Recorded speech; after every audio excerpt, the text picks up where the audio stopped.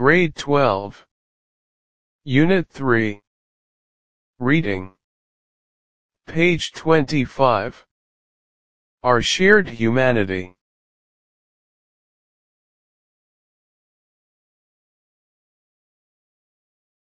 Despite the apparent diversity of cultures throughout the world, some ethnographers and anthropologists have set out to establish a set of universal human values.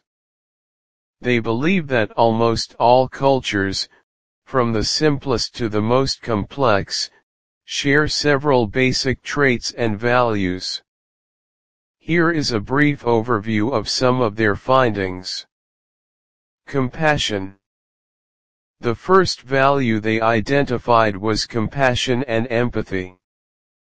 Caring for those worse off than ourselves, or those incapable of looking after themselves, such as the hungry, poor, elderly, or very young, is a human attribute we can find in almost every society.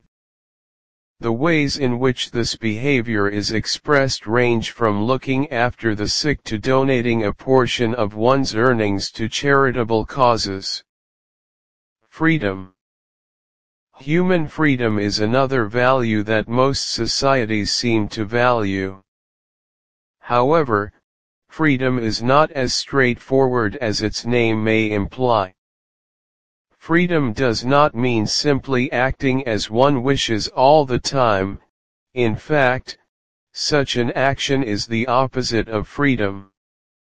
Most cultures perceive freedom as a balance between individual freedoms and the needs of society as a whole.